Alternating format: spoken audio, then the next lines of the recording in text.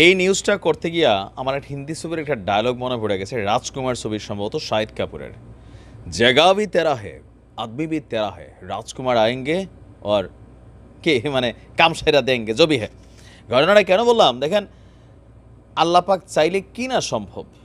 আমি এটা মাঝে মাঝে মনে করি, আমরা হয়তো অনেকটা হতাশ হয়ে যাই বাট আল্লাহ রাবুল আলমিন মহাপরিকল্পনাকারী তিনি দখলদারদের বিরুদ্ধে গায়েবী মদতটা, আমরা যেভাবে চাচ্ছি, আসমান থেকে একটা ঠেড়া পড়ুক, নিহু মইরা যাক, অথবা সেনাবাহিনী শেষ হয়ে যাক, আসলে এরকমভাবে ইতিহাস সাক্ষী কোনো কিছু ঘটেনি।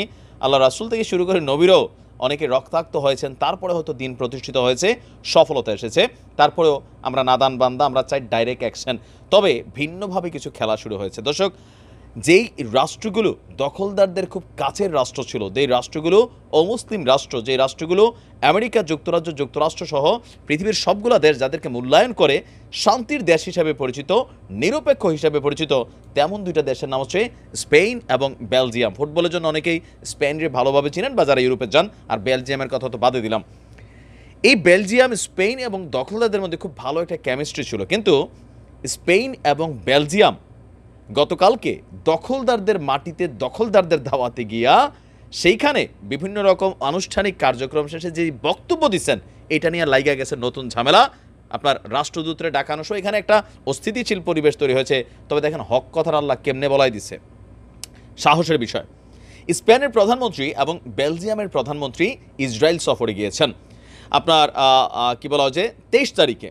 আর সেখানে ইসরায়েলের যেই প্রধানমন্ত্রী আছে নেহু এবং প্রেসিডেন্টের সাথেও তিনি, তারা দুইজন দেখা করেছেন, বৈঠক করেছেন। বৈঠক শেষে আপনার সাংবাদিকদের সামনে নিজেদের অবস্থান ব্যক্ত করেছেন আমাদের বীরদের ইস্যুতে। দেখেন খেলাটা কি। মানে স্পেনের প্রধানমন্ত্রী যিনি, তিনি বলছেন, দখলদাররা, দখলদারদের হামলায় যেই পরিমাণ আমাদের ভাইরা শাহাদাত বরণ করেছে, সেটা মাইনা নেওয়া যায় না। তিনি বলছেন যে, বীরদের হামলার জবাবে কয়েক হাজার শিশুসহ নিরীহ বেসামরিক মানুষের মৃত্যু হতে পারে না। একই সুরে কথা বলেছে আবার বেলজিয়ামের প্রধানমন্ত্রীও, বুঝেন? সংখ্যাটা জানেন তো, পনেরো হাজার যুদ্ধবিরতি যখন চলছে। স্পেনের প্রধানমন্ত্রীর এমন বক্তব্য নিয়ে সাথে সাথেই তীব্র প্রতিক্রিয়া দেখিয়েছে দখলদারদের পররাষ্ট্রমন্ত্রী অ্যালি কোহেন। তিনি বলছেন যে, স্পেন এবং বেলজিয়ামের প্রধানমন্ত্রী নাকি মিথ্যা তথ্য ছড়াচ্ছেন। আবার কি করতেছেন? সন্ত্রাসবাদকে সমর্থন দিচ্ছেন। দখলদারদের পররাষ্ট্রমন্ত্রী স্পেন এবং বেলজিয়ামের রাষ্ট্রদূতদেরকেও ডেকে তীব্র নিন্দা জানানোর হুমকি দিয়েছেন। এদের বিরুদ্ধে ভাই কথা বলা যাবে না। কথা বললে আপনার ডাইকাই না ভাই। রাশিয়া এই যুদ্ধে এই পর্যন্ত বেসামরিক যে নাগরিকগুলো মারা গেছে, কম না তাও দশ হাজার, কত বছরে বুঝছেন? পৌনে দুই বছরে। আর দখলদাররা সোয়া এক মাসে, এক মাস আট, দশ দিনের ভেতরে পনেরো হাজার মানুষ শেষ করে দিছে। আর বাকিটা তো বাদে দিলাম। সেই তুলনায় পুতিন কত ভালো দেখেন? বলেন না। এখন গত সাত তারিখের পরের এই ঘটনা নিয়ে আন্তর্জাতিক অঙ্গনেও এই স্পেনের এবং বেলজিয়ামের ভূমিকাটা একটু শক্তই ছিল। স্পেনের প্রধানমন্ত্রীর আগে আপনার অ্যান্টনি ব্লিঙ্কনও কিন্তু একই সুরে কথা বলেছেন, কিন্তু ব্লিঙ্কেনের এই কথার ওই রকম প্রতিবাদও করে নাই।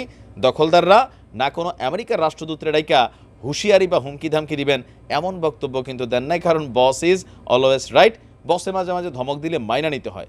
এখন আজকে আমি যে জায়গাতে ফোকাসটা করছি, যে দেখেন এই টোটাল যুদ্ধে দুইটা জিনিস হয়েছে। আমাদের অনেকগুলো প্রাণ গেছে বাট একটা জিনিস অর্জন হয়েছে, সেটা কি জানেন? সন্ত্রাসবাদের এই যে তকমা, মার্কিন যুক্তরাষ্ট্র অথবা এই দখলদাররা পৃথিবীর বিভিন্ন সংস্থা মানে গোষ্ঠী, মানুষ বা রাষ্ট্র নিয়ে এরা যে বক্তব্য দেয়, এবারের এই যুদ্ধে মানুষ সেটা নিজের চোখে দেখছে এই সোশ্যাল মিডিয়া প্ল্যাটফর্মের কারণে। আর সেখান থেকে মানুষের ভিতরে প্রতিক্রিয়া আসছে। বিশ্বজুড়ে আজকে বীরদের সুনাম চলছে, জাতিসংঘ সুনাম করছে। আমেরিকার ভিতরে প্রটেস্ট হচ্ছে। আপনি আর কি চান?